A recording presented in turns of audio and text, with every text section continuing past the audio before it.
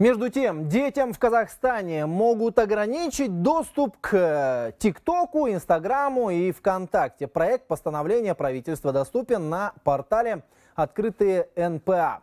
Если документ примут, несовершеннолетние не смогут самостоятельно зарегистрироваться в социальных сетях. Понадобится разрешение родителей.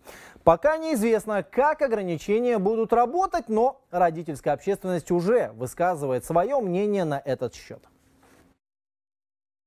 Первоклассница Адия Эдиге с тиктоком на «ты». Короткие видео девочка записывает уже больше двух лет. Подписчиков и лайков пока не так много, но она точно знает, к чему идет. Говорит, хочет быть популярной. Шести лет начинаю. Начало. Ну, там все легко делается, и там можно ну, стать популярной. Но люблю танцы, там монтажи. Мама но ну, она говорит, что можно снимать и что одевать вещи. Моя цель 990к. Если запретят, я буду снимать в YouTube. Увлечение Адии родители поддерживают. Они же участвуют в съемках роликов и лично контролируют каждый пост. Я поддерживаю ее в этом. Ну, естественно, ограничиваю и по времени. Ей, конечно, дай волю, она 24 часа в сутки может там сидеть. Через ТикТок она совершенствует свой навык монтажа. И я думаю, что в будущем это и сто процентов пригодится. Ну, будет ей лет 15, она уже в классе восьмом-девятом может работать контент-мейкером, рилс-мейкером, а это профессии вот настоящего времени, на которых можно очень хорошо заработать. Чрезмерное пребывание на просторах интернета уже лишило детей навыка живого общения, уверены специалисты.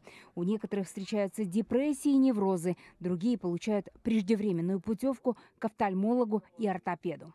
Не все у нас дети умеют правильно фильтровать поступающую информацию, поэтому здесь очень важно чтобы взрослые а, контролировали, да, и регулировали вот этот процесс. С момента появления соцсетей, там, допустим, лет 15, да, мы наблюдаем утрату навыка коммуникативных связей у детей. То есть дети утратили навык э, выстраивания каких-то таких отношений в реальной жизни.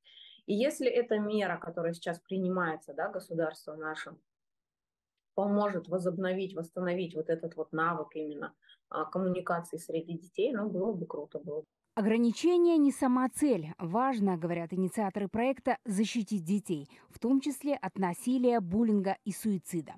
В публичном пространстве документ пробудет до 6 июня. Он состоит из четырех разделов – защита, педагогическая помощь и профилактика, охрана прав и информационная поддержка.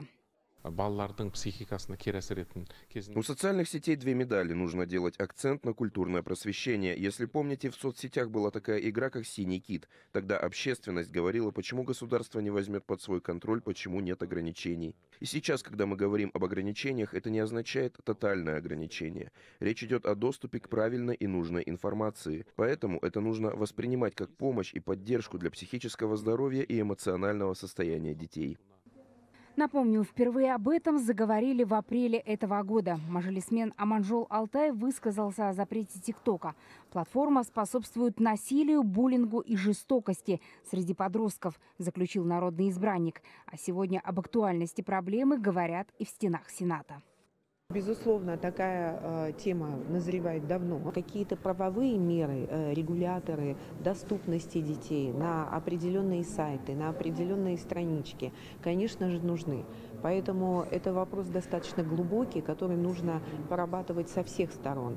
И э, с общеобразовательной э, стороны, э, внутри семьи, э, по э, психологическому воспитанию. Но все нужно делать э, абсолютно, э, скажем так, э, в рамках э, нормы и не перебарщивать, чтобы не было перекоса ни в одну, ни в другую сторону.